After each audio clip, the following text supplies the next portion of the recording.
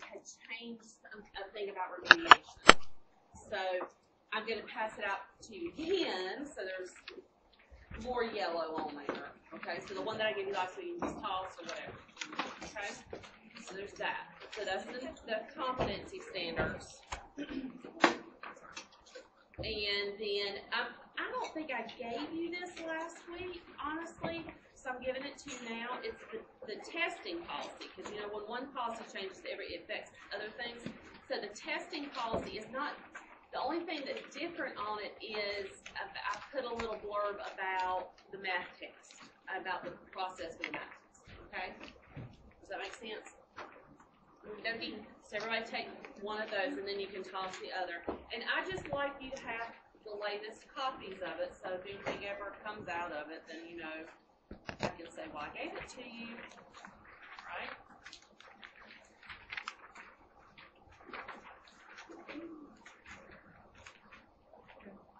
Alright, so that's that.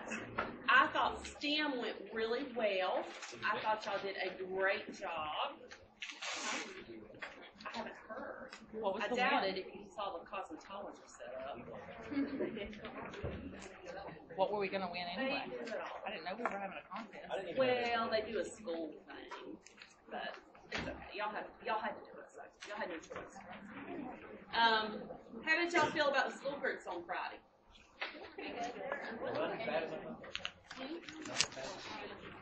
They, you know, last year we had middle school and they were out of control. It was like a herd of elephants running around through here. And so they banned the, they banned the middle schoolers from coming this year. So that's why they did high school. Right, yeah, I thought they were fairly well behaved, honestly. They were, mean, yeah. Yeah. Oh my god. Well, I started acting like a mom. I think there's an extra to go with the other part. not gonna like what you're doing. This printed really bad. I need to go through and I guess. I thought everybody did a great job, so, um, text. I will not if to you've got, if you've got extras, if you wanna, I saw a lot of people left candy in here, that's fine, there's gonna be candy. The little stress gloves are back there, so if anybody wants to pass those out, those are good. Um, you may, those people who are gonna help me out with that blood pressure, uh, thing, the health fair, if you wanna take any of that kind of stuff that day, you can, um, who's all, who's still covered. Okay, so, um, that might be something to take, good to take for those people who come. All right, what other housekeeping do we have? Anybody? Anything burning in your gut that you just have to? Do you know when we're doing remediation with this? Or, I mean, just. I think tomorrow. Tomorrow, I think she said tomorrow. Um, I made her go back and look at it again. So hopefully she'll, I don't know, did she change anything? I don't know. So, Um, so we'll see. Do you know what the class average was on that? She said it was No way. Three something. No way. So she'll go back and look at that, and then we'll, we'll look at it again, okay? Um, so, so everybody take a chance to look at it tomorrow, and again, if you have any questions, then ask her. I mean, that's the only way you can get that done, right? Remind me today, while I'm talking about the presentation. The class call. Very good. Yes, Carla? Happy birthday! It's also Miss Graham's birthday. So y'all stop at second. Happy birthday, Miss Graham. The same birthday, Miss. Birthday, birthday. Okay. So anybody else have anything? So this starts in summer? Summer. Yeah. And really nothing's changed except for the medication. The thing about remediation is we used to require it, and now we're strongly recommending it. Remediation. Well, and uh, honestly, because it, the reason that we did that is because it's very difficult to get for everybody to do the same type of high quality remediation. and we weren't getting what we thought we should get. So, but we really do recommend you doing remediation, right?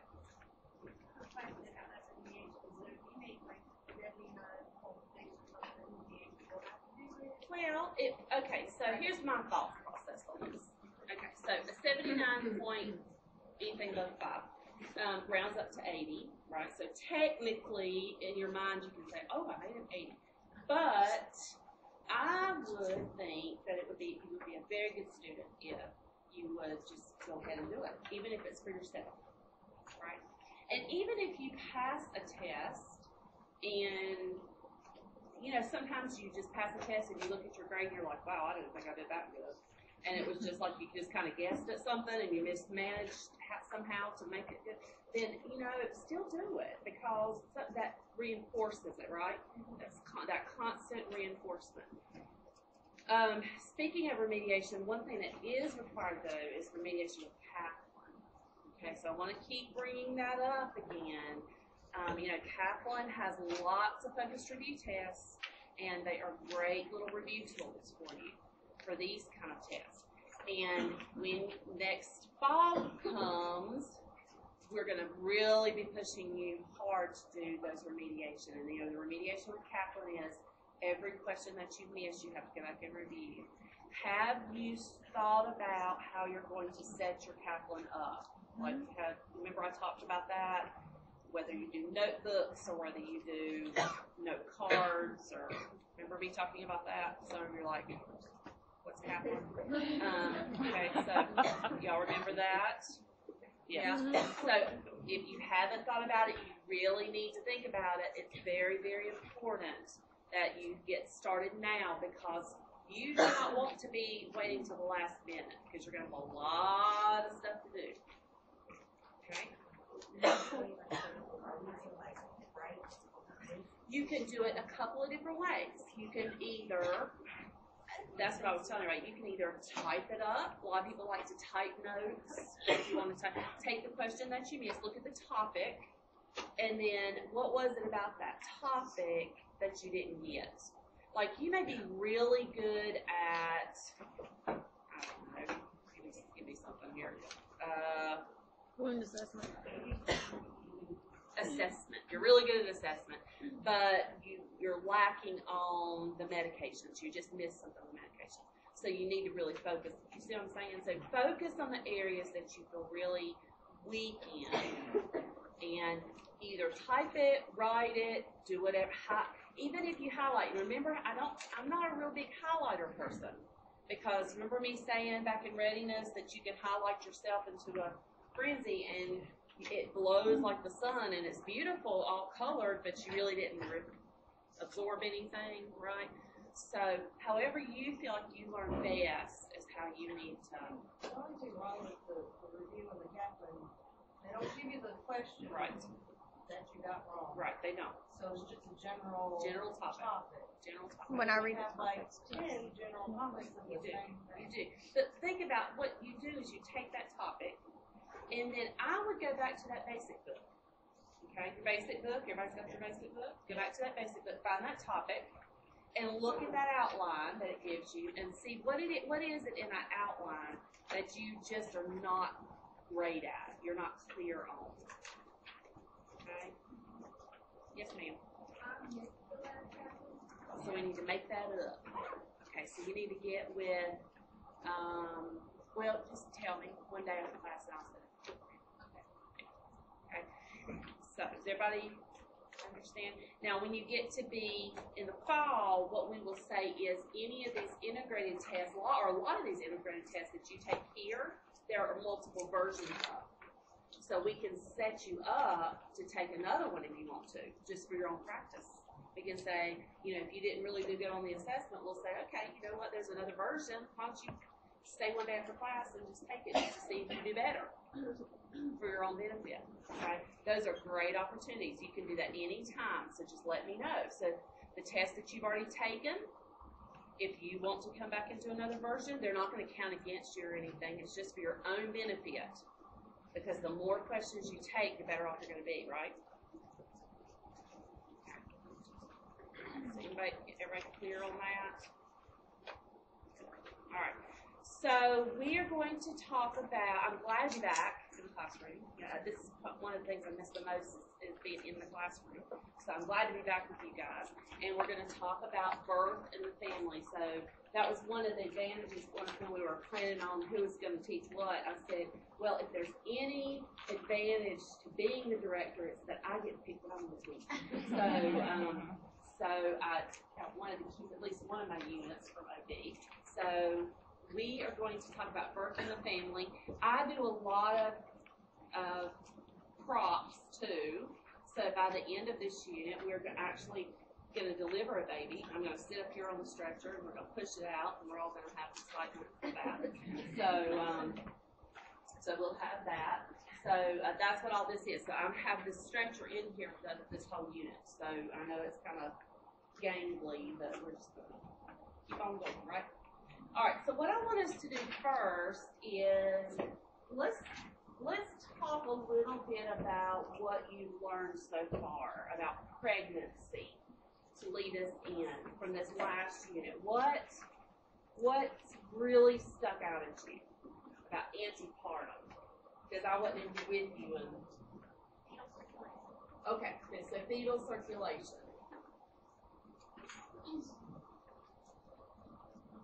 Okay, so Mhm. Did everybody understand?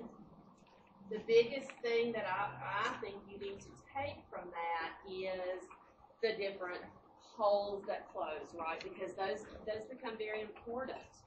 Um, in fact, I had a child two weekends ago that had an open hole, an open shunt. Murmur was very loud, very loud. So you talked about that, right? You talked about how they're supposed to close and when they're supposed to close. Everybody knows that. What else did you learn? The four different hormones related. Okay, the hormones that were related to pregnancy. And we're going to bring a couple of those hormones back up again for labor. What were those four hormones? Do you remember? HCG, of course. HCS, HCS. estrogen, and progesterone. Estrogen, progesterone. Right. And we're going to talk about a couple of those in relation to labor too. Okay. What else? Preterm stuck out labor. your mind? Preterm labor. Okay, preterm labor. And how do you know it's preterm labor versus real labor, right? Mhm. Did y'all talk about that? Yes. What kind of, what's the difference? And then, um, cervix opening. Hmm? The opening, Okay, the cervix labor. changes, contractions. Possible lack of pain. What did you say, baby? True labor starts with that. Your labor starts in the back. Okay. What else? Contractions aren't always felt. Okay, contractions aren't always felt, right? They're regular. They're irregular. Okay. All right, can you stop preterm labor? Yes. Yes. Hopefully, right? Our goal is to stop it because we want that baby to cook as long as possible. Correct? Okay. And there are medications that help to stop that. Y'all talk about that? Yes. Okay, good. All right. What else did you talk about? Back or okay. Okay, Braxton Hicks contractions. Where are Braxton Hicks contractions? Oh, they're- To get you ready. Okay, they get you ready. They're kind they're false contractions, right? They're not the real the real shebang. What is it doing? What is it? What are those contractions doing? They're preparing the the uterus, right? They're preparing the uterus to get ready. Okay. What else did you talk about? Pregnancy induced hypertension. Oh, PIH. The different tests. Let's talk about PIH real quick, and then we're gonna.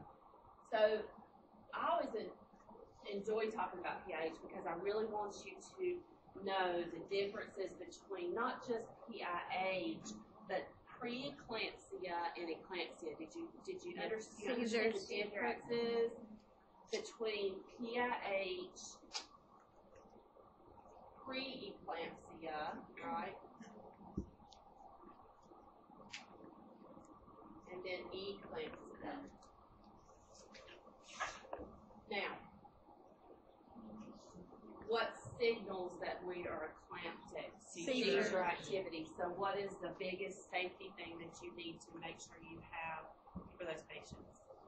Section. Seizure precautions, right? You always have seizure precautions. So if you've got a, a patient who comes in who is severely preeclamptic, you're gonna already be ready. We don't wanna be behind the eight ball whenever that patient starts to have a seizure, right? PIH, so that's very, that, that's a big topic, okay? And what's, what is one of the biggest things about that? What is, what is it causing? What is our biggest danger? What, what hap- decrease what? Decrease perfusion. Decrease perfusion. That's our biggest thing we need to keep in our mind with PIH. So it's decreased perfusion to, remember that the, the perfusion to the maternal and fetal organs is depressed. And that's a bad thing. Right? The baby's not getting what it needs.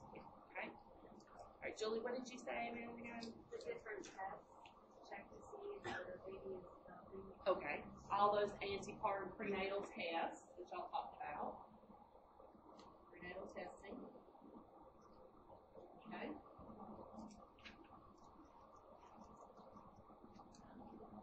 Alright. What other complications did you talk about? HELLP. Okay, and remember, HELLP is, is it related to anything or can it be standalone? It's related to something. Related to. standalone. HELLP is a lab diagnosis. It is not a clinical diagnosis. Because what does it stand for? Hemolysis, elevated liver enzymes, and low platelets, right? It is a lab diagnosis. Patients can have HELLP without having anything else wrong. And that's something very important to remember. A lot of people think that HELLP oh, goes along hand in hand with hypertension, but it doesn't. It can, it can, but it's not necessarily true for every case. So it can alone. Okay. What other complications to talk about? Molar. Okay, congestive heart failure. The heart failure is kind of going along with the blood pressure problems. Molar pregnancies. Did y'all talk about that? Yes. The great pictures. There are some really good pictures on um, YouTube or um, like the images, the Google images of molar pregnancy. What's one of the biggest things, the teaching things with molar pregnancy that you've got to make sure that you tell the person? It's not a baby.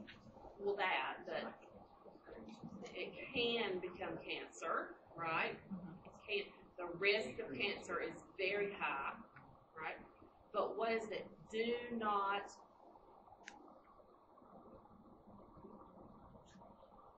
get pregnant for one year. They cannot, absolutely, that is, that is extremely important, that they cannot get pregnant for one year What's the reasoning? because of the risk of cancer.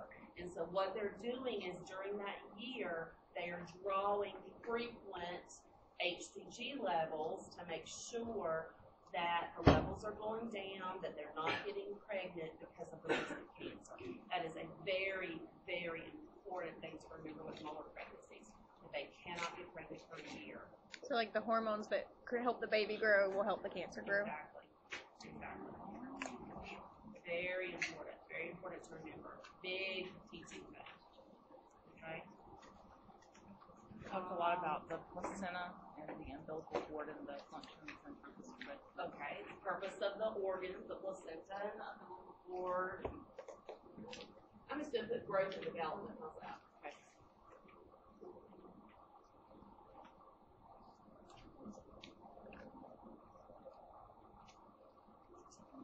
Okay. Did y'all learn about diabetes? Gestational diabetes? Briefly. Yeah, when the test was. Twenty-four, twenty-eight. Learn that back when you're at Yeah, yes.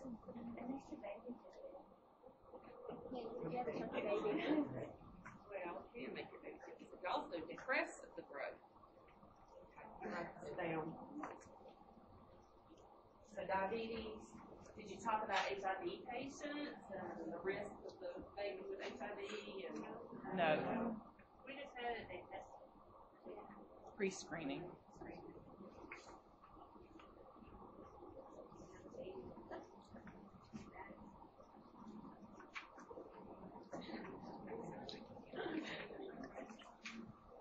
All right. Okay. And now what I want us to do is, I've got two more papers, and I want us to talk about, before we get started, what you, what you think you know about labor. it hurts. It hurts. It hurts. put this one up here, so we'll keep ourselves in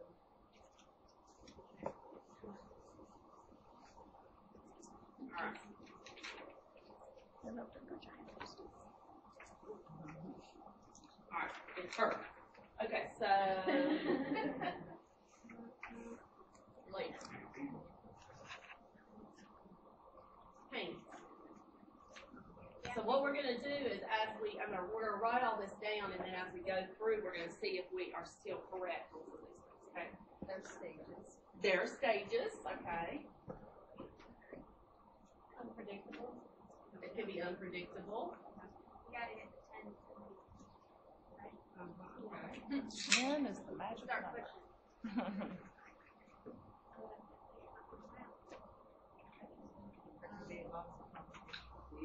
Birth plan. You have 24 hours from water break to get the baby out.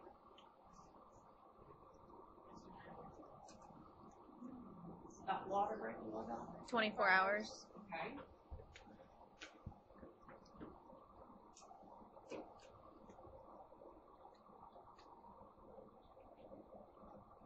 Okay.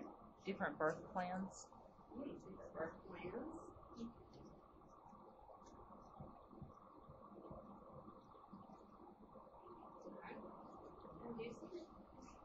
Inducing labor.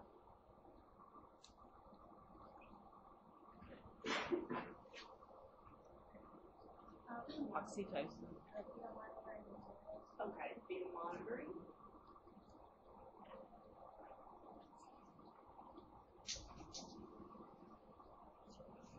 Epidurals. Girls.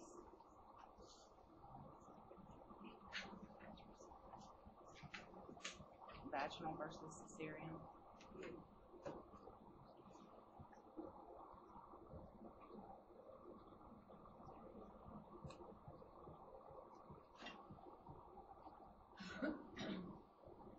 Positions for birth.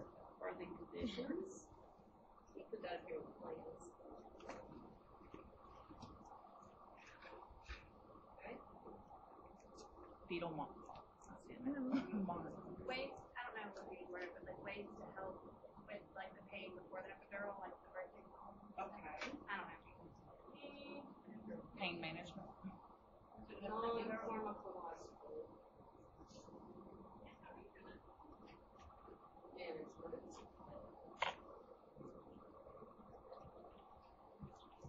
Okay. Positioning of the baby. Issue of the baby.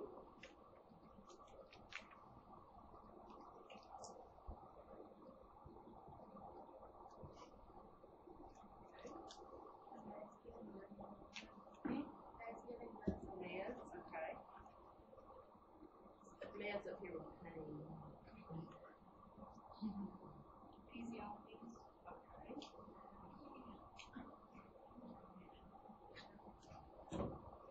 Okay. Uh, assistive devices like the vacuum and forceps.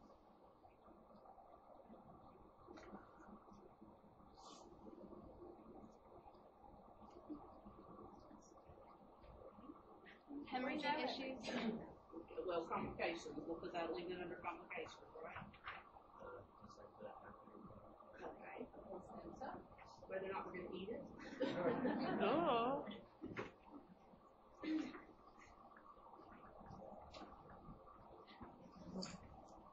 So you've, you've got a lot of ideas already, right? And the one thing is that you, a lot of you've been in labor and delivery already. So you've seen this, right? You've seen some of these things. So I'm hoping that a lot of the things that you've seen, number one, are gonna be right, and number two, are going to help you learn some of this. So let's see if we can hit on a lot of our different things that we're, that we're talking about. Um, I found, well, I didn't find, I was given a little book, uh, and it was just the cutest little thing. One of the PN students found it in her grandmother's supplies, or grandmother's uh, leftover stuff. And it was a little book that was given to her grandmother when she was pregnant with her child back in the 40s. And they would give them these little books, and they are the funniest things, little anecdotes. So I pulled out some of the little anecdotes about labor and stuff. And I printed them off because some of them are really long. So I want you to be able to go home and tell people about these because I've got them up on my slides, but you're going to forget before you get home. So I printed them off because we're going to look at the first one right now about the hospital. Okay, so I'll read this to you. This is what the, the book says that women who have had one baby at home and another in the hospital almost always affirm that hospital delivery is more comfortable, more restful, and as a rule, only slightly more expensive. only slightly. The bother and expense of preparing the rather complicated paraphernalia necessary for home confinement are avoided. Look at this. The salary and board of a nurse are spared. So they would have to take a nurse and keep her in their house. They would have to board her for the confinement and pay her a salary. And as well as considerable outlay for laundry. Furthermore, a period of complete rest is assured without responsibility in world. But most of important of all is the safety offered by hospitals in the event any slight complication develops.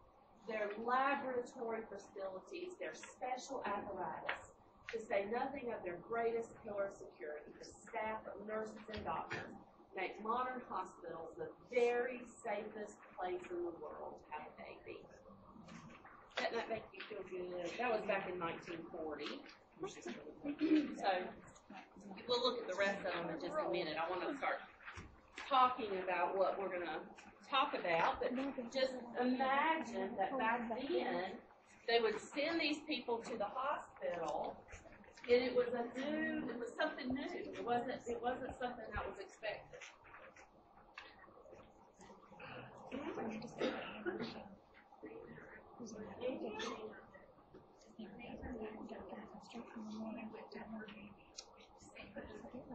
Yes, and we're going to talk about that. We're going to talk. It's a wonderful little thing that they talk about in this book about how wonderful it is, but it's called twilight sleep. You go to sleep, you wake up, there's your baby, and it's wonderful. It is. It's just great. So let's talk about the five keys, and your book addresses these. Now, does everybody realize in your book? Hopefully, you've opened your book. Hopefully, you've gotten the plastic off your book. Um, in your book, this chapter is the labor chapter, the birth chapter, and we're going to talk about the medication, the pharmac- pharmacology chapter as well. So you've got a couple of different ones. All right, so we're going to talk about the five P's of labor, five things affecting labor. So the first thing we're going to talk about is the passageway. Passageway. So what is the passageway? The pelvis. This is our passage, right? So did you see this in the in last the unit? Did she pass this around and labor? Okay. So this is the pelvis. There are there is a true pelvis and a false pelvis. Okay. So it's separated into two parts. The false part is above the brim, so it's up here where the baby is floating. Okay? The true pelvis is inside the pelvis, inside the bony parts of the pelvis. The coccyx, you remember this from anatomy, the coccyx down here, our, our tailbone, right, becomes movable later on in pregnancy. Becomes movable later on in pregnancy. So there are four types of pelvis. Four types of pelvis. The first type of pelvis is the gynecoid. Gyn, what does G-Y-N remind you of? Gyn. Female. The gynecologist that I bring you back. Good, good memories for everybody's that day. Right. So gyn means female. So the gynecoid pelvis is the most common type of pelvis. Fifty percent of us have a gynecoid pelvis. That is a female-shaped pelvis. Okay. The second type of pelvis is an android pelvis. Hmm. It is a male-shaped pelvis, and it is so some females have an android-shaped pelvis. Android pelvises are not favorable for vaginal delivery. When do they discover what shape of your pelvis you have? When do they do that though? Prenatal. Prenatal. Prenatal appointment, okay? So did y'all talk about that? That's one of the things that they do is they measure the planes of your pelvis. So they're gonna know whether or not you have a pelvis that's adequate for delivery before you get there. Okay? So an android pelvis is a male-shaped pelvis. It is not favorable for vaginal delivery. i got that? And the reason for that is because, bless you, it has narrow, and I'm just going to kind of squeeze this a little bit. A, it has narrow planes. So on the inside, in the true pelvis part, it's very narrow, so a baby cannot fit through that. Okay? If a patient has an android pelvis and they attempt to push through an android pelvis, the baby will turn into the wrong position and they will get stuck. The baby will get stuck. So that is one reason, and we're going to talk about many, many reasons, but that is one reason it is vitally important for people to get prenatal care, right? Because if you don't get prenatal care, you don't know what shape pelvis you have, right? Okay. Anthropoid, anthropoid pelvis is an eight-shaped pelvis. What? Eight-shaped A-P-E shaped pelvis. It is okay for vaginal birth. It is, it is definitely a different uh, shape than a gynecoid pelvis, but the only big, the biggest difference is just that it's longer. So the pelvic planes are just longer. So it may take a little longer for you to push the baby through the, the canal, but it, is- the shape of it is still okay for you to vaginally deliver. So, so far we only have two, right, that we can vaginally deliver, gynecoid and anthropoid. The last type is platypoid. What does that sound like? Platypus. And what is, what is significant about a platypus? Flat that flat tail. So, what does that tell us? That a platypoid pelvis is a flat pelvis. So it's very, you know, I told you that android pelvises are very narrow. They're still circular in shape. They're just very narrow. A platypoid pelvis is a flattened pelvis. The, the outlet is flat. Okay, so it is very flat. So, do you think that you could deliver a baby through that? No. So of the four types, there's only two types that we can deliver that baby through. A gynecoid pelvis and an anthropoid pelvis. Mixed types are the most common. So it is not uncommon. Remember, I only said that 50% of us have a gynecoid pelvis. There's leaves room for over the 50%, right? Mixed types are more common. So you may have a gynecoid slash anthropoid pelvis where it's the right shape, but it's just longer. Okay, so the gynecoid shape is just longer. Alright. Now, in the third trimester of pregnancy, there is a hormone that is released. Do you remember what it what it is? It starts with an R. Relaxin. Relaxin is secreted, and what happens to the joints and the ligaments? Relax. They relax. Whoever came up with the name for that hormone was very smart, right? Because it helps us remember.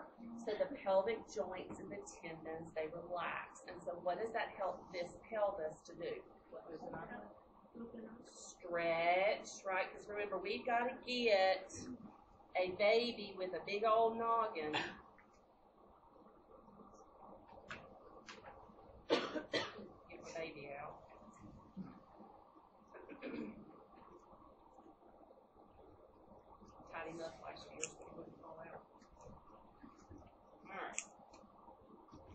We've gotta get this head through this pelvis. Okay? Well, he, just, you know, it's just, it's just, right, show. That we've gotta get a big head through this pelvis. And so it's got to be able to stretch and widen for that baby to maneuver and get its way through. So relaxin is a very, very important hormone. What do women complain about when that pelvis is stretching and moving and what do they say? It hurts.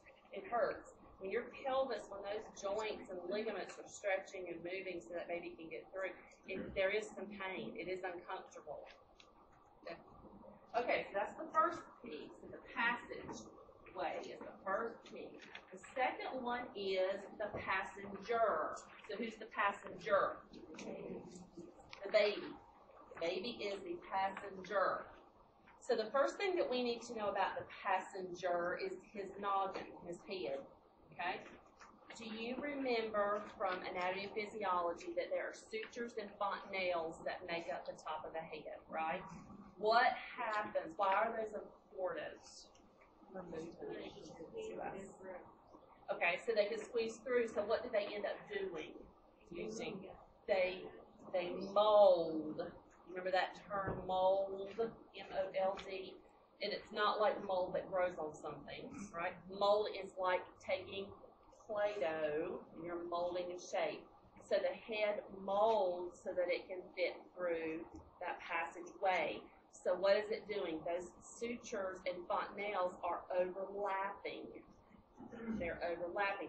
Now, can that happen to us right now? No. Luckily, right? Cannot happen to us now, but at this time, they can still overlap and mold their way to get through that passageway. So, there are four suture lines, and there, the picture shows the different suture lines and the different fontanelles. Okay? Alright.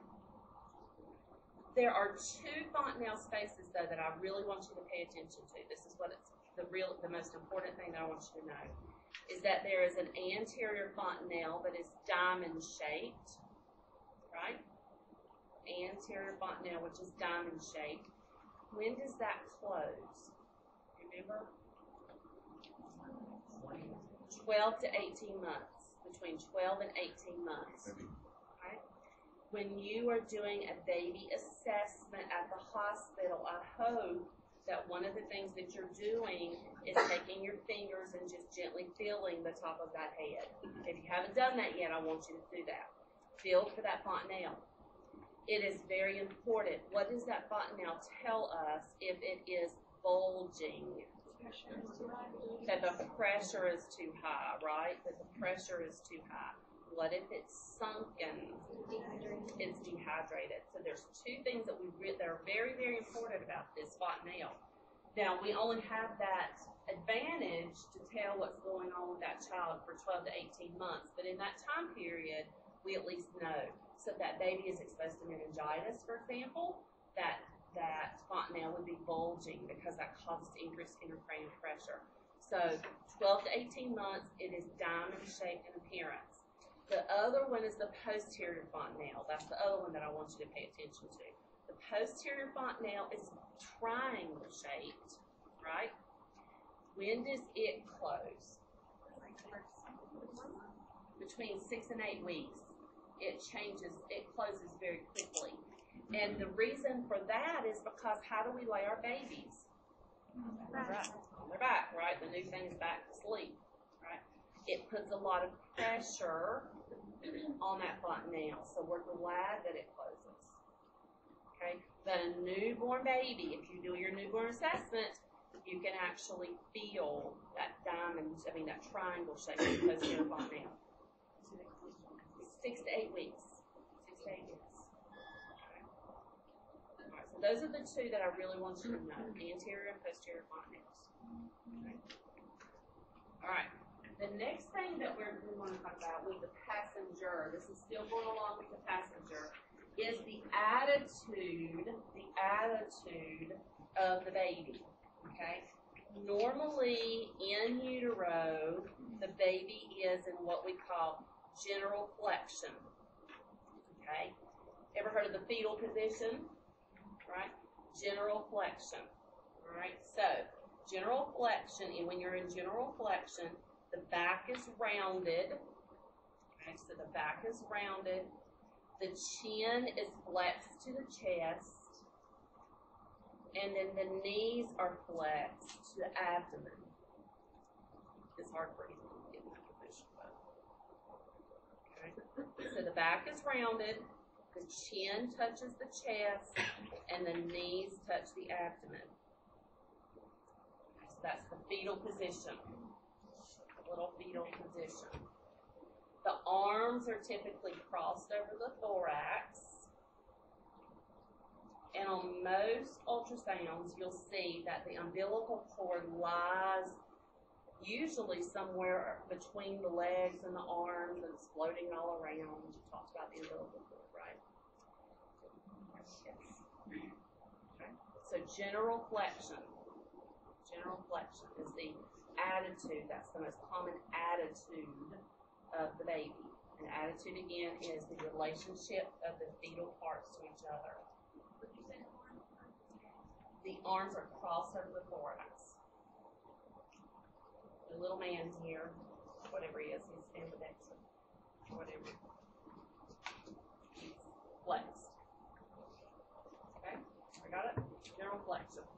We're gonna look at some other attitudes in this. Fetal lie is the next thing that you need to know about with baby. The fetal lie is how it is resting, how the baby is resting in the abdomen. Okay, the fetal lie. It is the relationship of the long axis of the baby, which is his spine, long axis of the baby, which is his spine, to the long axis of the mama. Okay? Now, we want the fetal lie to be what? What do you think? Or longitudinal. We want it to be longitudinal, parallel longitudinal, right? So we want both long axes to be the same direction. Correct? Whether that's breech, bottom down, or cephalic, head down. They're both longitudinal. We get into trouble when a baby is this way. This is a transverse lie. So what does that tell? And you can think about that because it's a T, right? The long axis of the mother, the long axis of the baby. So those are T's. You cannot vaginally deliver a baby that is in a transverse lie. Okay?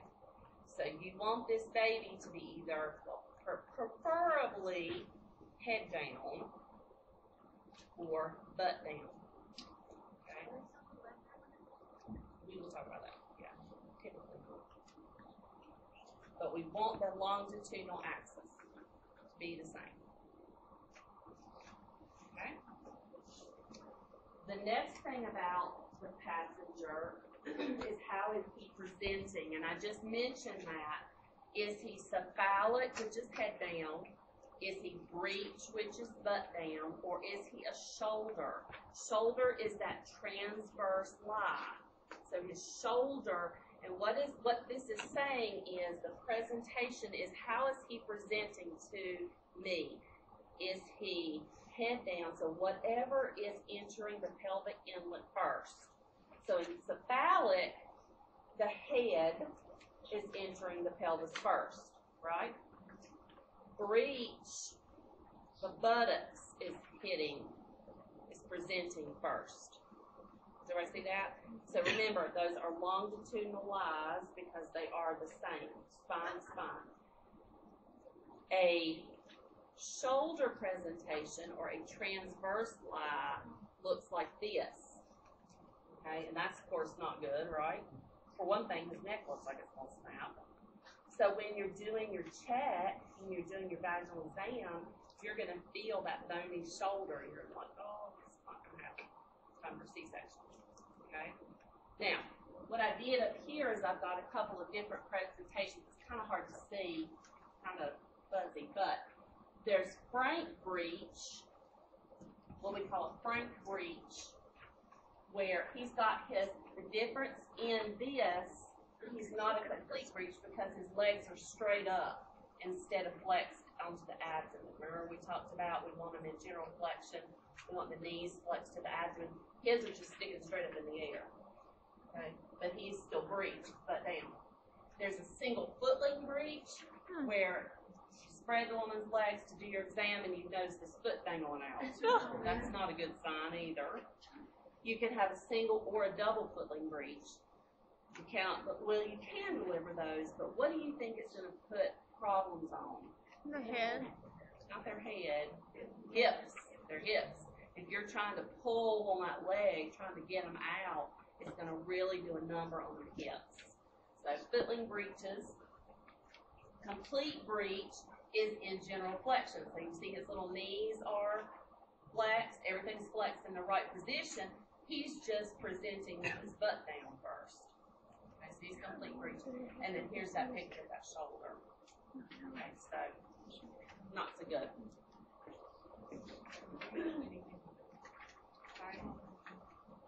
Ninety-six percent, ninety-six percent of babies are born cephalic. Thank heavens, right? 'Cause that's what we want.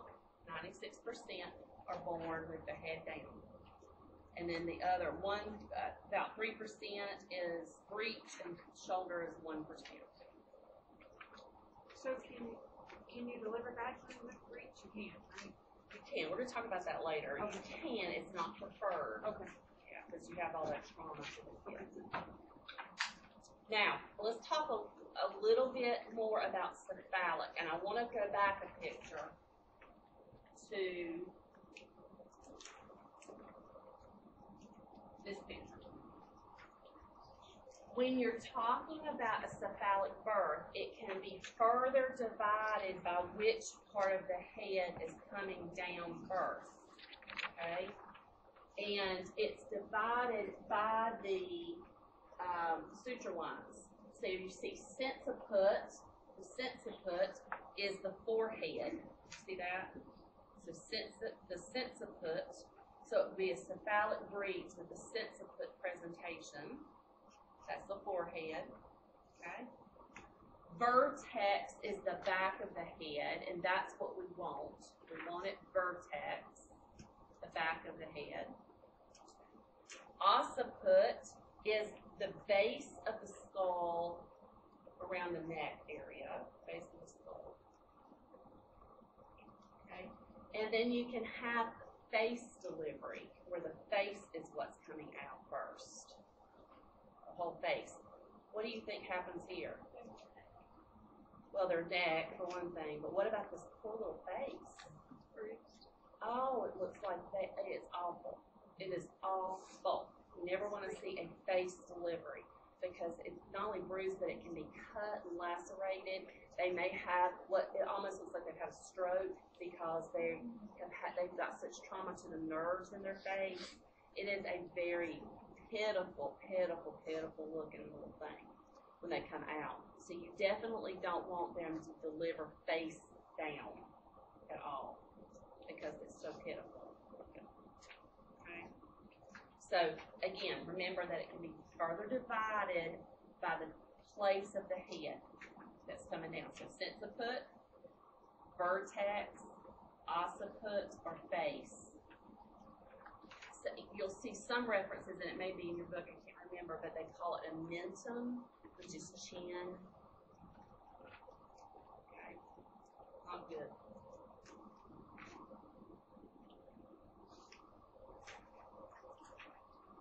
All right, any questions so far?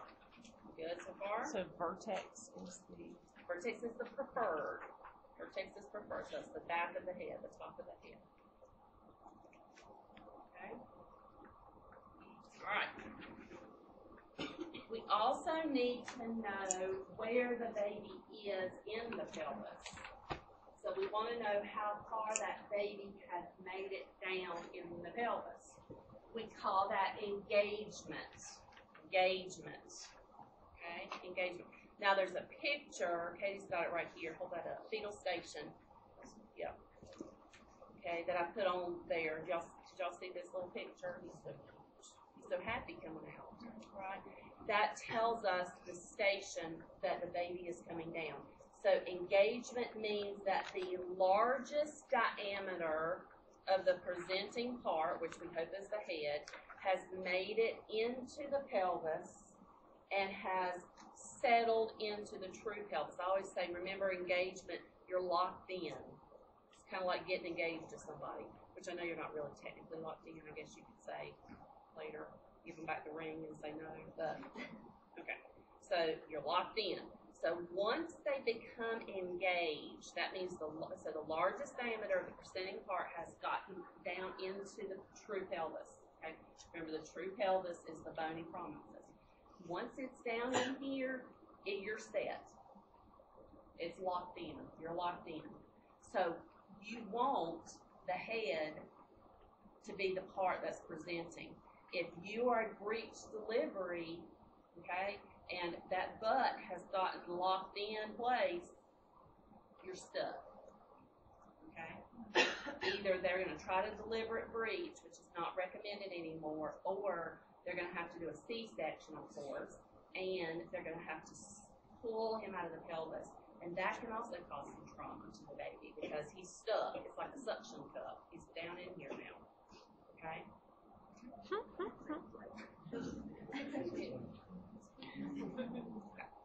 So he's engaged. Now, station tells me where, how far he's sunk down. How far he's sunk down. Do you remember when you were talking about with Ms. Chandler about checking fundal height postpartum for your postpartum assessment, right? Where was zero station? Remember? The belly button. Now, I don't want you to confuse that because we're going to talk now about zero station with the baby being delivered, okay? Zero station for delivery is the ischial spines. And I'm going to pass the pelvis around. The ischial spines are these little things that are sticking out right here. You see that? Okay? When, bless you, when the top of the presenting part is even with the ischial spines, that baby is said to be at zero station. Okay? Everybody hear me? I'm gonna say it one more time. When the when the presenting part, when the top of the presenting part is even with the ischial spines of the pelvis, that baby is said to be at zero station. Okay? Anything above those ischial spines is considered to be a negative number. So the first thing would be negative one, negative two, negative three, negative four, on up. So the negatives go up, the positives go down. And what you can remember is that it's positive to be born. Okay, it's positive to be born. Does everybody understand? So zero station is at the ischial spines. Anything above the ischial spines is a negative number. And you can see that on that picture that I had Katie hold up. Anything that's above the ischial spines is a negative number. Anything that's below the ischial spines is a positive number. And what the little mnemonics is, is that plus four is on the floor. So you can think if zero is ischial spines, then you've got plus one, plus two, plus three, and plus four, they're out. Okay? Now I'm going to pass this around so you can see where the ischial spines are located, okay? Plus four is on the floor. So you can feel them. And when we do this, we're going to do our labor delivery check. Probably not today, but a, a couple of days from now. You'll be able to feel it. Okay? So does everybody understand that? Plus four is on the floor. Now, do you think that that can be subjective?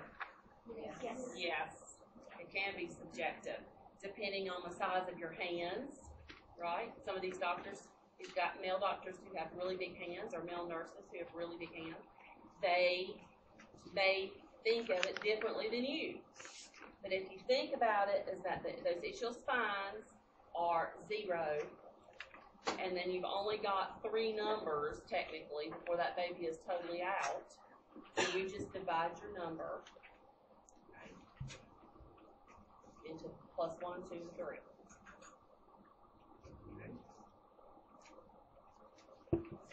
All right, let's talk about one more thing before we take a break. Because this is the last thing about the passenger. All right, so we've talked about his attitude. We talked about his lie. We've talked about his position. Right? We've talked about the station. And now we're going to talk about the position inside the pelvis. Now, I do not expect you to be able to do this. This is way out of your league. But I do want you to know that there are there is a three letter uh, step for identifying where the baby is lying inside the pelvis. Okay? There is a picture in your PowerPoints and in your book that shows all these different positions. I do not expect you to know that. I'm not going to give you a picture on the test and say identify is this a right or left, occiput or sicciput or whatever, because it is very hard to tell and it takes a lot of practice. But what I do want you to know is what those three letters stand for. So it's the position, the relationship of the presenting part to the pelvis of the mother. The first letter is either R or L, or right or left. So what that's telling me is, and let's say that this is a cephalic birth, and he is vertex. So the vertex is the presenting part, okay? Which is what we want, right? So the vertex is either facing right or left of the mother's pelvis. Either right or left of the mother's pelvis. And the problem is, the hard part about that is, is that sometimes it's very difficult. And if you look at that picture, it's very difficult to tell what which side that that head is facing. Okay, but R or L means right or left, which means that the presenting part is either facing the right side of the mother's pelvis or the left side of the mother's pelvis.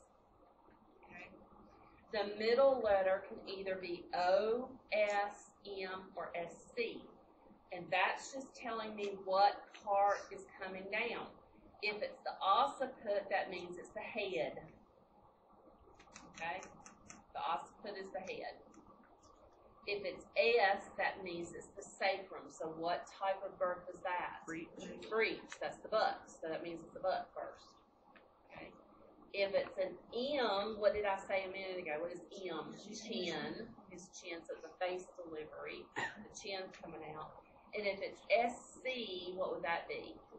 A transverse birth. So, because you can feel the scapula. Okay?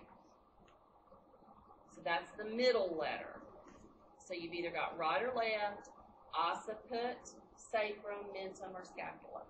And then the the third letter is is it not only is it facing right or left, but is it facing the front or the back of the mother? Okay. So again, if you look at that picture, you've got to tell whether or not the top of the head is it backwards or forwards. Now it's a little easier with that just because you can tell whether or not the face is facing more out than back. Okay. But is it anterior or posterior to the mother? Okay, so that's your only choices anterior, posterior, transverse. Okay, now what I want you to know though is that ROA is the ideal position for the baby to be delivered in. ROA is the ideal position for the baby to be delivered in. So what does that tell me? It is, what is R? Right, Right. occiput, anterior. Okay, right, opposite, anterior. LOA is okay as well. ROA is the most common. LOA is okay as well. But those are the best positions for the baby to be in for delivery. So if I gave you those three letters, or some three letters, on your test, could you tell me what each of those letters meant? Right or left, is that the palm right or left, or how we're looking? How you're looking at it. you're looking at. Why would the right be more or better than what? It's just the way the baby's coming down in the proper way. Yeah. Now look at that picture. I've got it on your PowerPoint. It's hard to see, of course, on your PowerPoint. That's why I wanted you to look in your book. But you can see it's very difficult to tell. It takes a lot of practice. But that's why I don't expect you to know how to do this. I just expect you to know what those that you could determine what those three letters meant. So if I said it was L O T, what would that be? Left, occiput, transverse. Okay, could we deliver that? Cannot deliver a transverse lie. Remember, we cannot deliver because it's a T. Cannot deliver transverse? Right.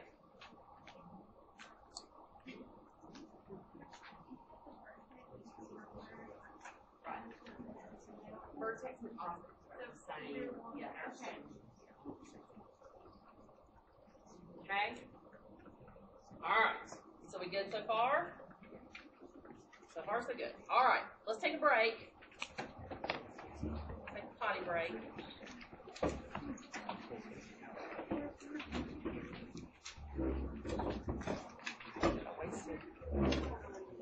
time. Like this is something. Yes. The patient's right over there. Yep.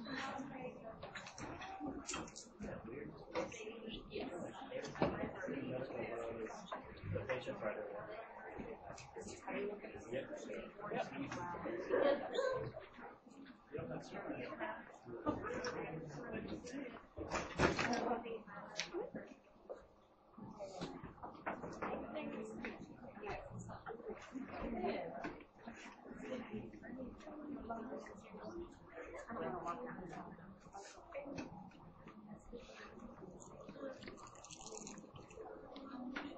His hand, his hand. Give some better jokes.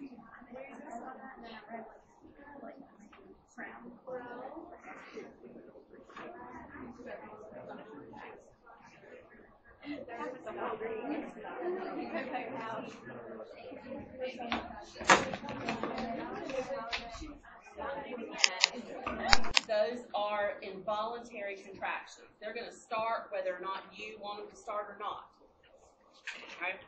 Those are called primary forces, involuntary contractions. The second thing is secondary forces. And those are voluntary. That is something that you yourself have to do. And those are called the bearing down. That's the bearing down or pushing by the woman. So both of those things have to work in sync in order for this baby to be born. Contractions have to start, and the woman has to be able to bear down. All right. Now, somebody said when we were making our list up there that somebody said that a term that was very important. They said 10 centimeters, and you, you should never start pushing until you get to 10 centimeters. And that is one of my biggest pet peeves in the labor room is that doctors and some of the nurses get very impatient. And they want that woman to start pushing before she gets completely dilated. The thought is that as this baby is bearing down on that cervix, it will force it open and it'll force it to thin more.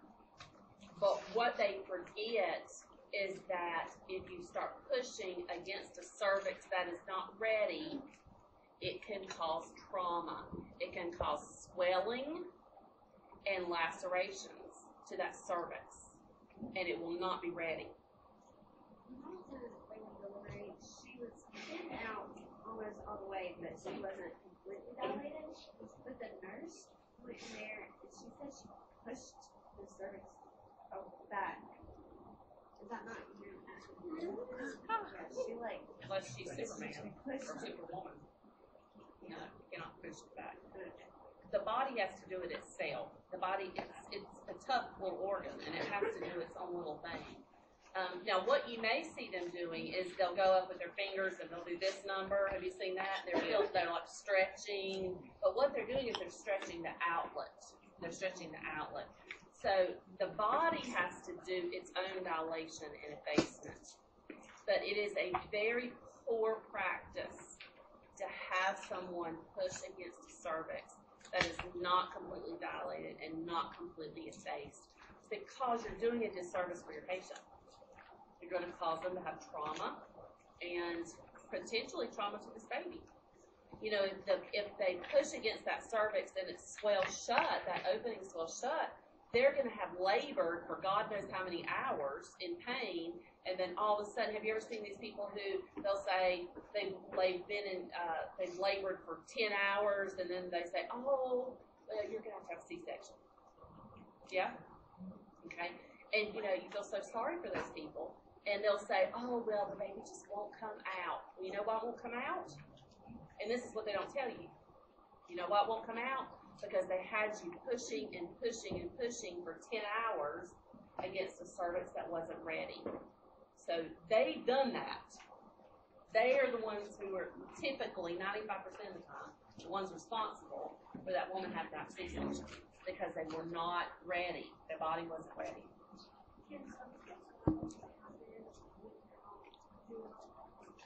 Not typically. Was our patient, she was in labor, so she came in at like eleven thirty, and we stayed late until seven, and she was still, like, she was at eight centimeters, and then at like C-section.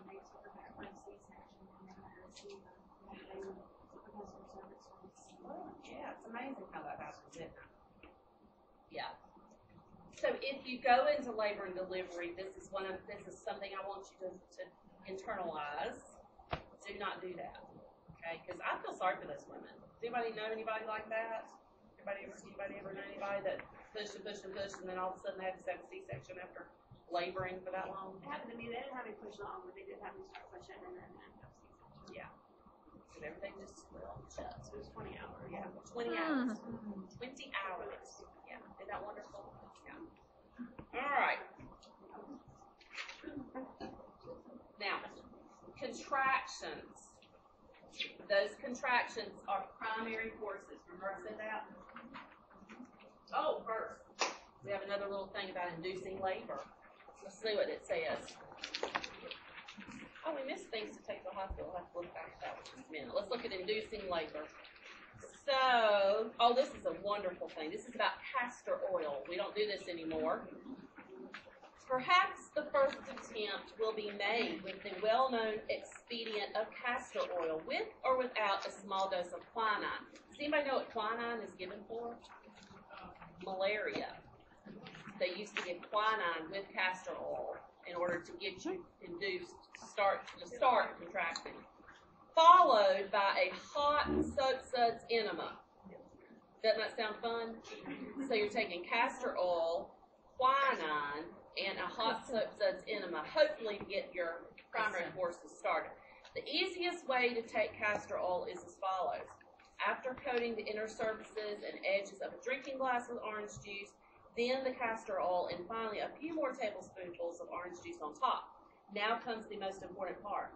Place in your mouth. Listen, this is just crazy to me. Place in your mouth, well back against the palate, a piece of ice about the size of a walnut and hold it there until it becomes quite painful. This temporarily paralyzes the taste buds on your tongue. And if the sandwich of castor oil orange juice is taken as soon as the ice is removed, there is little or no sense of taste. This is how you induce labor. Yeah. Doesn't that sound appetizing? So, of course, we don't do that anymore. Um, we don't we don't induce labor with castor oil and orange juice and quinine and all that fun stuff. We want these primary forces to start on their own. That's our that's our goal, right? Some people do still do it, and it is dangerous, and you've got to be very careful about that. All right, so let's talk about these contractions. Okay, there are three things that we're going to learn about contraction: duration of the contraction, the intensity of the contraction, and the frequency of the contraction. So the dia, what we call the dia. Okay, the contraction is like a pacemaker. It sends out a signal and it has to work its way down to do its thing. So it has to start at the top of the uterus and then work its way down. Now, we're going to talk about, in a couple of days, we're going to talk about dystocia, which is abnormal labor. And we're going to learn that part of our problem occurs with this pacemaker point. Okay? So we want it to start at the top of the uterus and work its way down. So the contraction starts, and it's like a wave all the way down. And as it occurs, as that contraction occurs, it causes this this cervix, that we have right here, to start to thin and start to stretch. Okay? The be- one of the best things I can think to tell you is like when you play with Play-Doh and you have a wad of Play-Doh in front of you and you take your fist and you kind of push down on that Play-Doh, what's it going to do? It's going to thin out in the middle and it's going to push it up on the sides, right? Everybody ever done that before? Or dough? Okay, it's the same principle. So you've got this head and these contractions are working together and it's pushing down on the dough, on the play dough, okay? And it's causing it to thin out or a base and it's causing it to dilate and stretch. It's one of the best ways I can think of to tell you how it works. Okay, now, I want you to look at this picture on the next slide. This is the this is a picture of a contraction. So the duration of the contraction is from the beginning of the contraction to the end of the same contraction. Okay? So if I asked you what is the duration of a contraction, it's from the beginning of the contraction to the end of the same contraction.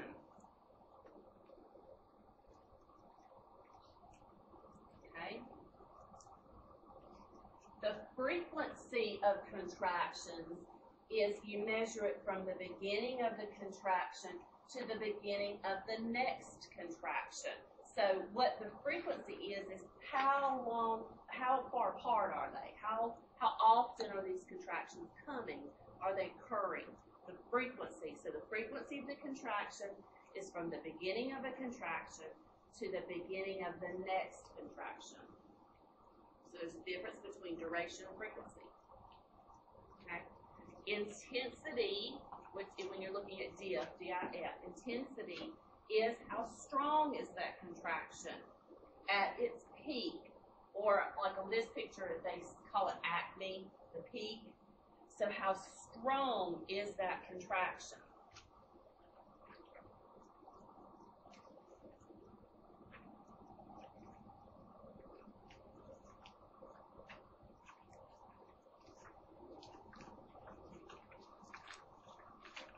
Okay. So does everybody understand? What is the DIF? Contraction that, how do you measure the dip, the DIF? The duration, tell me. Same contraction, okay? The I is intensity, what is that? Strength at its peak. Strength, okay? And then what's frequency? Beginning to beginning. beginning of the next contraction, right, exactly, okay. So everybody can do that. Now, the next couple of slides on your, on your PowerPoint is just about dilation and, and effacement, we've already talked about that, right? So we have to be zero to ten centimeters, and we have to be zero to hundred percent effaced. Labor should occur, or you should start pushing when the cervix can no longer be felt. And I've got a magic box up here that we're gonna play with, probably tomorrow. Where you can all feel for cervix. Okay, where I'll let you all feel the different types of cervix. Okay? So zero to ten and zero to hundred. And then secondary forces, we talked about that.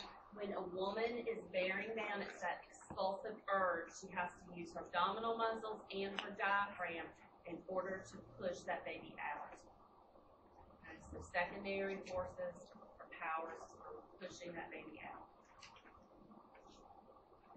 Okay, let's go ahead just for the fun of it and let's let's feel for let's do our cervical check. Okay, so I'm gonna set this up. This is my magic box. And everybody, I'm gonna, we'll, pass it around, well, no, we'll let everybody come up here. Let me get it set up, and then I'll let everybody come up here and take a cup of feel. This is our vagina.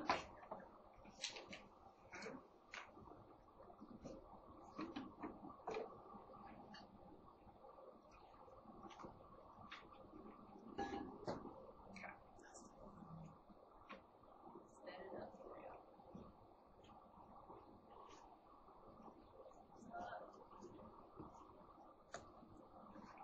I'll put the head in.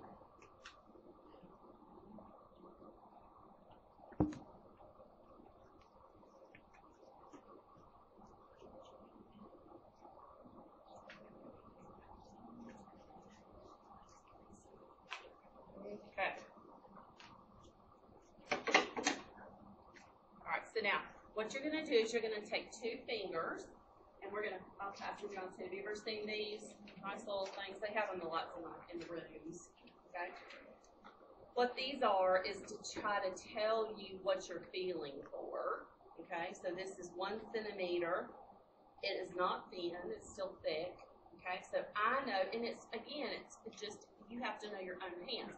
I know that, that with ten centimeters, I can take my fingers and stretch them all the way from one side to the other, and it feels like my fingers are breaking.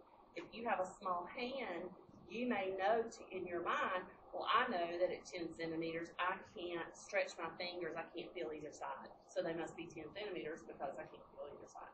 Does that make sense? I can feel one and I can't reach across to the other. So I'll pass these around. Y'all can kind of feel these.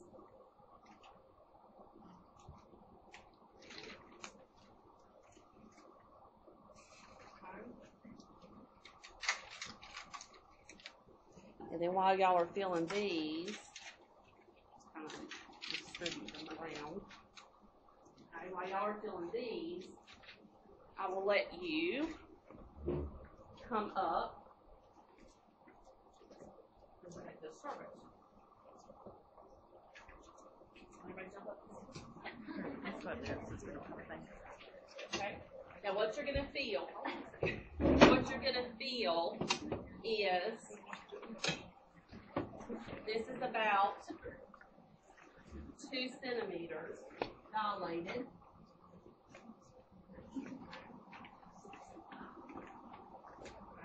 This one's about two centimeters dilated, and it's about seventy-five percent in phase on the right. To the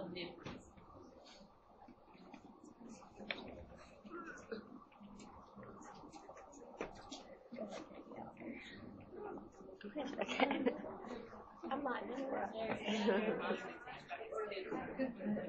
longer be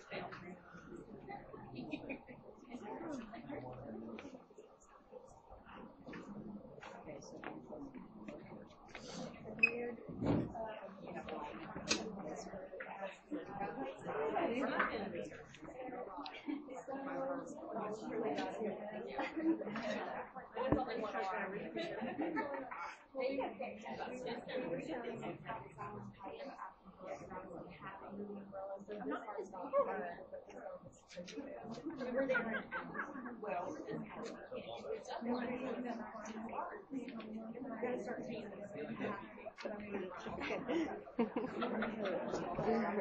had some sun on your face this weekend. You seen I do. I was out like all day yesterday. Don't get comfortable, cause I'm gonna change it again, just. Oh. According to your hands. I remember seeing one of those charts in the hospital in a drawer. but I was just- What is it now? Is it big or small? There's a lot of complicated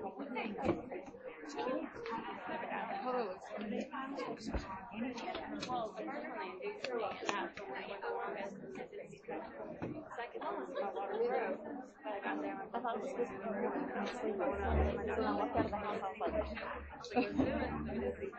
kind. Thanks. Never liked that top. Like, let me put up this meeting this morning. I. You are welcome. So just top I wish that it was like. You're facing, you're facing. Use your right side, and this side will be your goes forward, that's the center. And you can feel it beat on that. It's it's it's gonna be very end,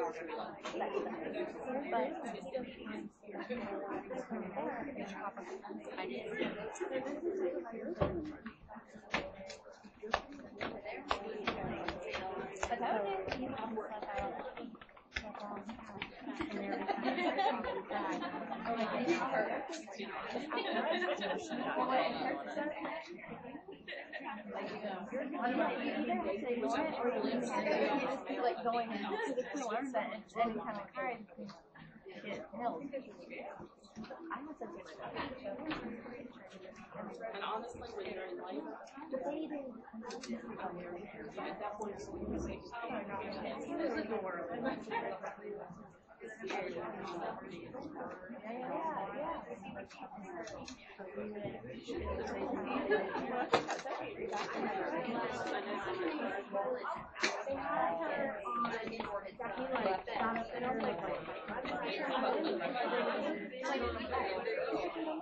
I was talking. It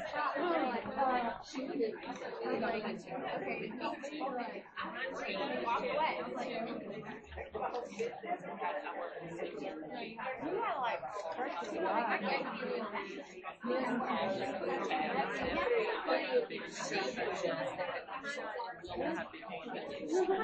I'm really